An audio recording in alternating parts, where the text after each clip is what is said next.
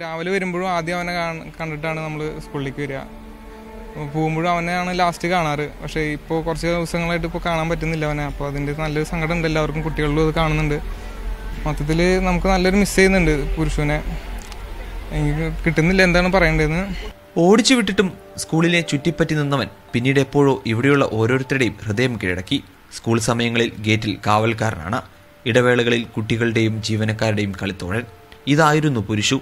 ഒമ്പത് മണിക്ക് കുട്ടികളെല്ലാവരും കയറി കഴിഞ്ഞ് കഴിഞ്ഞാൽ പിന്നെ അവൻ ഗേറ്റിന്റെ ബാധ്യത തന്നെ ഉണ്ടാവും. പിന്നെ ആരെങ്കിലും വന്നു കഴിഞ്ഞാൽ അവന്റെ നോട്ടത്തിൽ കൂടി തന്നെ പോവുകയുള്ളൂ. കാരണം വെച്ചാൽ പുറത്തുനിന്ന് ആരെങ്കിലും ആണ് വന്നെങ്കിൽ അപ്പോൾ പ്രതികരിച്ചിരിക്കും. പ്രതികരിക്കുന്ന വെച്ചാൽ കുറച്ച് എന്തെങ്കിലും ഒരു ശ്രദ്ധ അവനെ വരുന്ന ആൾക്കാരെ ഒന്ന് അവൻ കൂടുതൽ വാച്ച് ചെയ്യുന്നതായിട്ട് നമുക്ക് തോന്നിയിട്ടുണ്ട്. അപ്പോൾ അതൊക്കെ ഇടയ്ക്ക് ശ്രദ്ധിച്ചു തുടങ്ങി. പിന്നെ പുറത്തുനിന്ന് നായ്ക്കൾ വേറെ വരികയാണെങ്കിൽ ഒരു കാരണം വെച്ചാൽ അവൻ കയറ്റു വരുന്നില്ല. കുറച്ച് ഓടിക്കും. സ്റ്റാഫ് മീറ്റിംഗ് കൂടി കഴിഞ്ഞാൽ പോലും എല്ലാ സ്റ്റാഫും വന്നിരുന്ന് പുറത്തവനുണ്ടാവും അപ്പോൾ ഞങ്ങൾ തമാശക്കാണെങ്കിലും പറയും ആ ഇവനും അവിടുത്തെ സ്റ്റാഫാണ്. അവനെയും അതിൽ പങ്കെടുപ്പിക്കേണ്ടതെന്നൊക്കെ പറയും.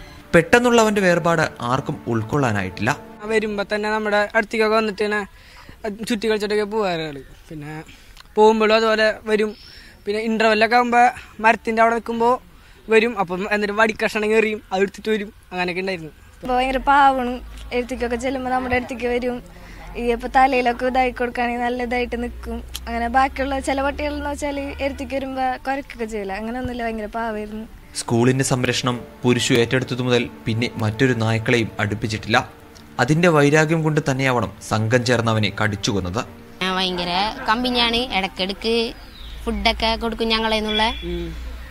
പിന്നെ ഈ ഗ്രൗണ്ടിക്കാർ പട്ടി വേറെ പട്ടികളൊന്നും കടത്തൂല.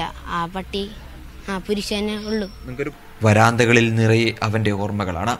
ജീവനക്കാരുടെ റാക്കുകളിൽ അവനായി വാങ്ങിയ ബിസ്ക്കറ്റുകൾ തിരിച്ചു വരില്ലെന്നറിഞ്ഞിട്ടും കാത്തിരിക്കുന്നു. മണികണ്ഠനൊപ്പം K Akhil Media One Thrissur.